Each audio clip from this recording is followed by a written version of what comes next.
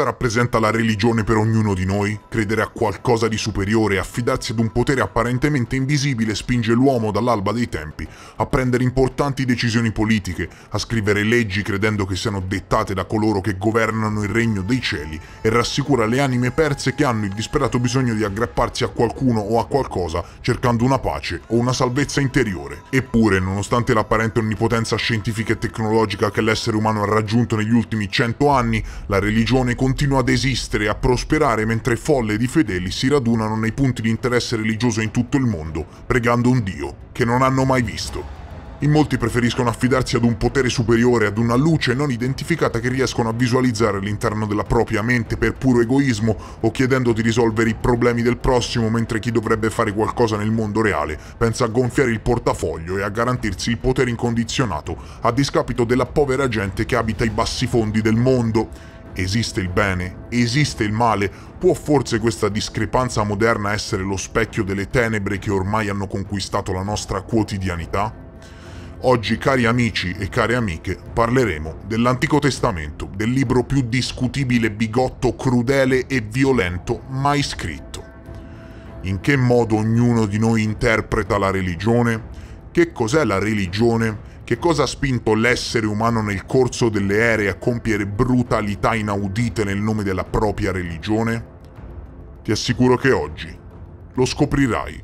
Io mi sono sempre chiesto come abbia fatto un profeta come Gesù, che comunque ha profetizzato un messaggio sicuramente positivo, a trarre insegnamenti positivi e di pace da una religione che basava la sua esistenza su di un antico libro sanguinario e doppio giochista copiato dalla mitologia sumera. Se ti stanno disturbando queste affermazioni perché comunque sei credente e reputi gli insegnamenti della Bibbia, in questo caso dell'Antico Testamento, come insegnamenti giusti e pacifisti, per sentito dire, influenzato dalla cultura cattolica che ti ha cresciuto senza mai nemmeno aver letto la Bibbia, permettimi di giustificare le mie accuse. E ancora di più, se sei credente devi seguire questo video fino alla fine. Dimostra un minimo di onestà intellettuale ho selezionato una lista di citazioni prese dai libri dell'Antico Testamento che sicuramente ti daranno da pensare. Le analizzeremo insieme e faremo il punto della situazione. Alcuni dopo averle lette si potrebbero nascondere dietro al pensiero che, esposte così alla rinfusa, siano state completamente estrapolate dal proprio contesto e invece no perché l'Antico Testamento non è un romanzo di Ken Follett dal quale ho preso frasi a caso dandogli il senso che mi torna più comodo per la narrazione, ma bensì un grande insieme di libri precedenti agli insegnamenti di Gesù, scritti in versetti e parabole impossibili da fraintendere. L'Antico Testamento è la prima divisione del canone biblico cristiano che si basa principalmente sui 24 libri della Bibbia ebraica è, in pratica, una raccolta di antichi scritti religiosi ebraici degli israeliti.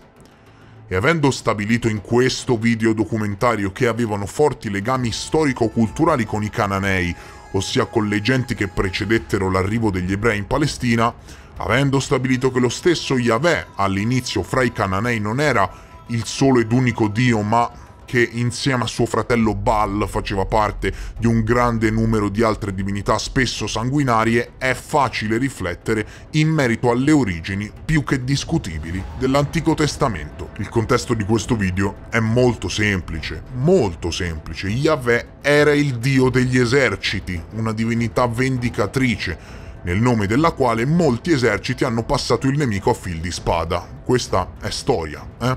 Yahweh sarebbe il dio nazionale dell'antico Stato di Israele, ma le origini di questa oscura divinità risalgono verosimilmente alla prima età del ferro. La Bibbia stessa non nasconde assolutamente che, nella più antica letteratura, è una divinità guerriera che, testualmente, guida l'esercito celeste contro i nemici di Israele. Non lo nasconde la Bibbia e già da questo potete farvi due conti.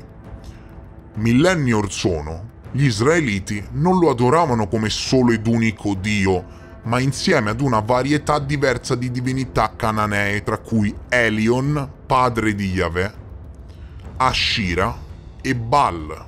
Sì, esatto, il demone biblico che è il fratello di Yahweh. E quando si parla del volere di Dio riferendosi all'Antico Testamento, si fa riferimento al volere di una divinità guerriera che a quanto pare dava ordini molto discutibili. E la cosa più tremenda è che incitiamo i nostri figli ad essere come lui, a prendere spunto dai suoi insegnamenti. Sapete chi è Dio? Si chiede spesso, ma sei credente? Credi in Dio? Senza nemmeno sapere chi è Dio. Se per Dio si intende il Dio biblico dell'Antico Testamento, signori, vi consiglio di seguire questo video con la massima attenzione perché di buono, pacifico e misericordioso non c'è proprio niente. Questa è la copertina di un editoriale del 1966 del New York Times che si chiedeva se Dio fosse morto. Nell'editoriale, redatto da un ebreo ortodosso di nome Shalom Auslander, che perse la fede dopo aver capito in realtà chi fosse Dio, raggrupparono quelle che vennero chiamate poi le atrocità della Bibbia. E in questo video, rimanendo il più family friendly possibile, perlomeno ci proviamo, cercherò di riportarvene alcune e di ragionarci su.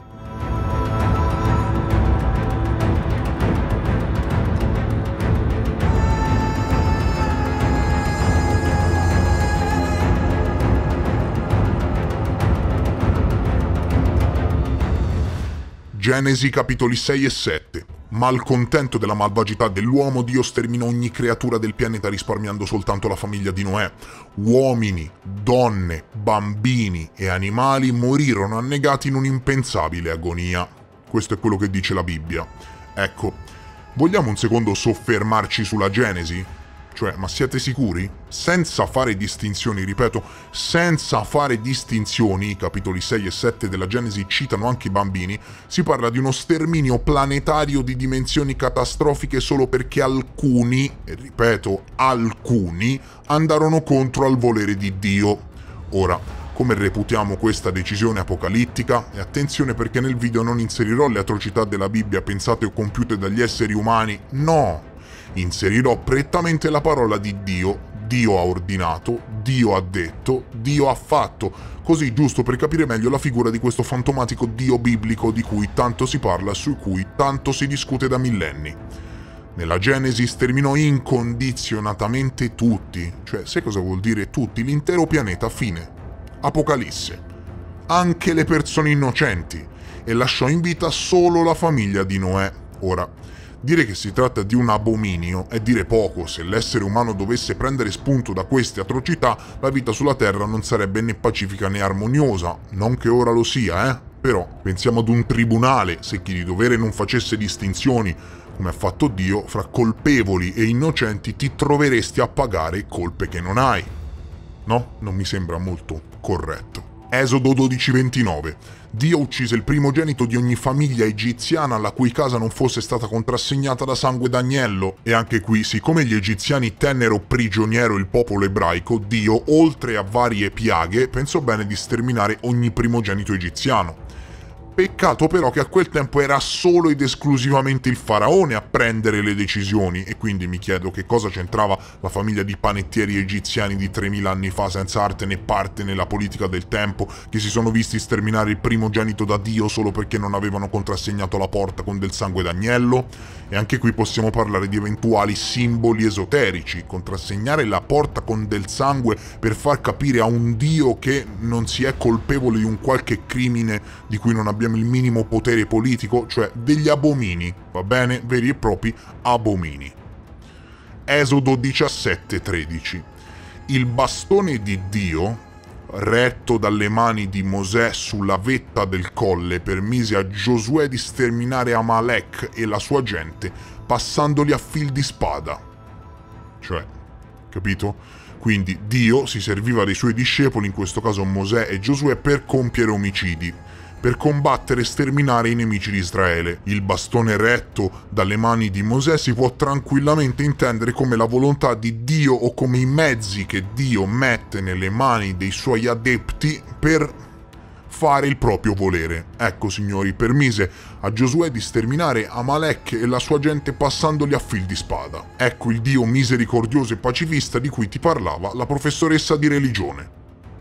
Esodo 21, 20, 21, per la legge di Dio, se uno bastona il suo schiavo o la sua schiava fino a farli morire sotto i colpi, il padrone dev- deve essere punito, deve essere punito, ma se sopravvivono un giorno o due non sarà punito perché sono denaro suo, per la legge di Dio. Io mi dissocio, sono assolutamente contro a queste atrocità e reputo questi insegnamenti degli abomini. Non c'è nemmeno bisogno di commentarlo questo passo. Parliamo di un dio che a quanto pare storicamente approvava la schiavitù. Non solo la schiavitù, qui si parla nuovamente di omicidio. Se sopravvivono un giorno o due non sarà punito perché sono denaro suo. Cioè, capito, per la legge di Dio. Esodo 32:27. Alla vista del vitello d'oro, Dio comandò ai figli di Levi dicendo, ognuno di voi si metta la spada al fianco percorrete l'accampamento da una porta all'altra di esso e ciascuno uccida il fratello, ciascuno l'amico, ciascuno il vicino. In quel giorno caddero circa 3.000 uomini e Dio ne fu compiaciuto. Un'interpretazione metaforica sottolinea la parola oro di vitello d'oro per, insomma, criticare la ricerca della ricchezza. Se cercate il significato è questo.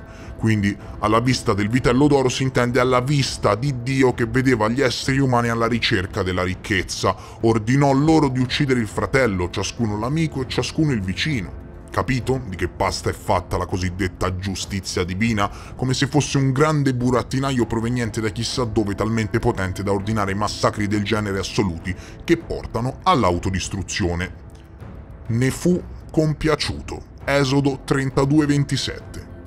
Potete assolutamente consultare tutte le fonti possibili, ritroverete i medesimi passi. Occhio però a scrivere correttamente su Google. Esodo, 32, 2 punti 27 come colpa per la ricerca della ricchezza e quindi del benestare, del benessere, Dio ordinò a 3.000 uomini di passare a fil di spada il prossimo suo, tra fratelli e amici. Mi chiedo come Gesù, che ripeto ha comunque diffuso un messaggio positivo di pace, abbia tratto insegnamenti positivi da un libro del genere. Cioè devi essere veramente fantasioso per trarre insegnamenti positivi da un libro del genere.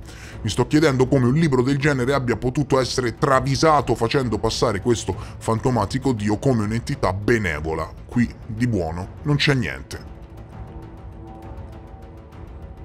Levitico 26, 7, 8 non so come si leggono, non, non, sono un esperto, non so come si leggono versetto 26, 7, 8, comunque non lo so. Dio ricompensò l'obbedienza assicurando che ogni nemico sarebbe perito per la spada. Cioè, capito? Dio ricompensò l'obbedienza assicurando che ogni nemico sarebbe perito per la spada. Quindi, se mi segui ti assicuro che il tuo nemico morirà. Chi se ne frega se è una brava persona o se comunque come te ha le sue ragioni, no? Perché la diplomazia no, non viene utilizzata da questo dio, a quanto pare. Se mi segui, io ti assicuro che ogni tuo nemico perirà sotto la tua spada. E poi ci chiediamo anche perché hanno cominciato le crociate in nome di Dio. No? Assurdo, veramente assurdo.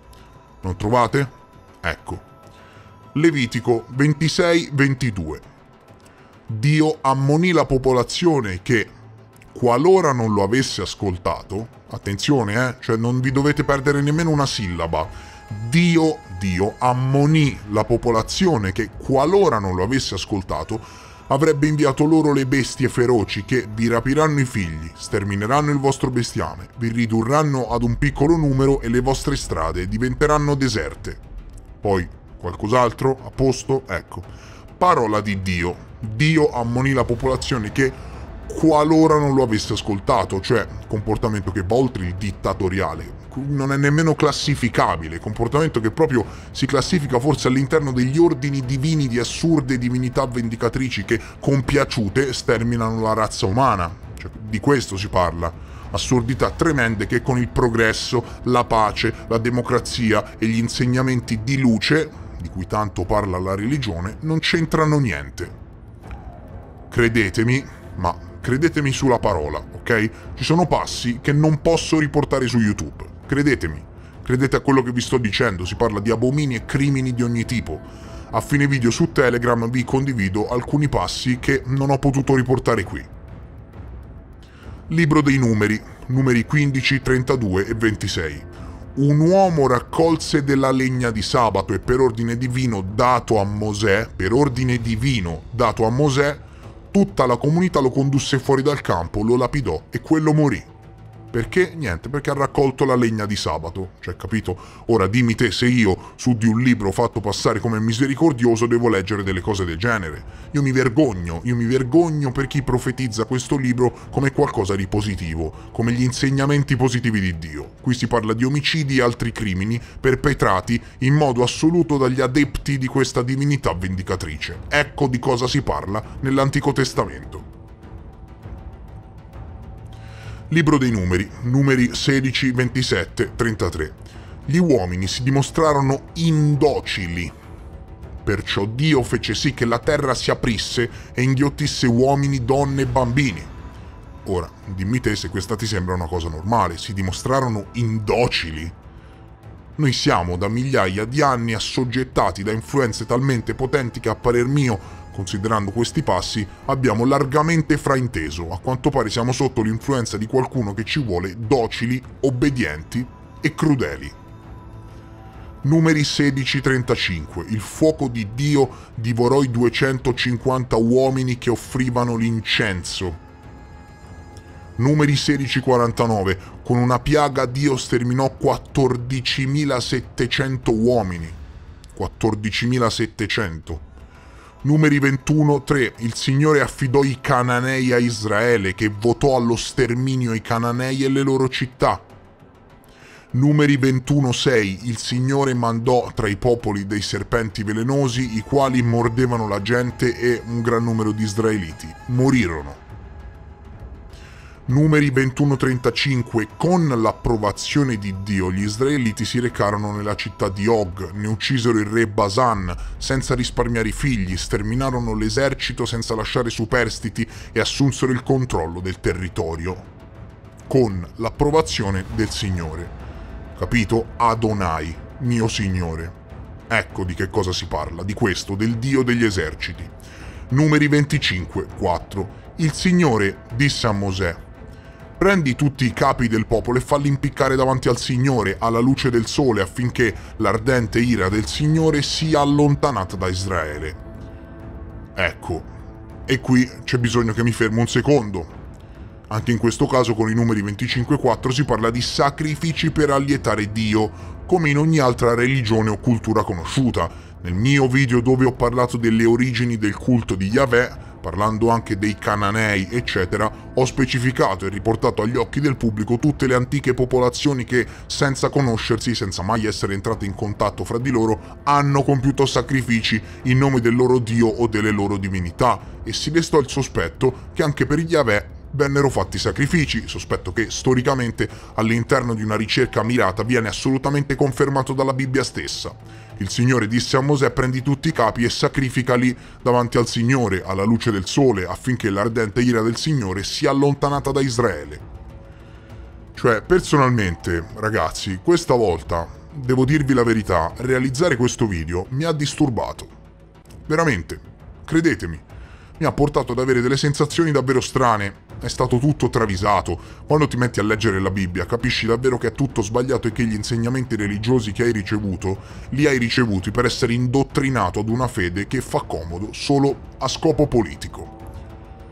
Se questo video riceverà le giuste attenzioni da voi ci sarà una seconda parte e continuerò commentando i passi, ci sarà una seconda ed ultima parte. Mi raccomando, se vuoi la seconda parte sulle atrocità della Bibbia, dove continuo insomma ad argomentare i passi atroci dell'Antico Testamento, lascia adesso un like al video e fammi vedere il tuo supporto. Dimostralo, basta un like. Mi raccomando, se sei nuovo e ti interessi ai temi che affronto, iscriviti al canale. Grazie per essere stati con me Spero che il video vi sia piaciuto e noi ci vediamo presto, molto presto, nel prossimo episodio.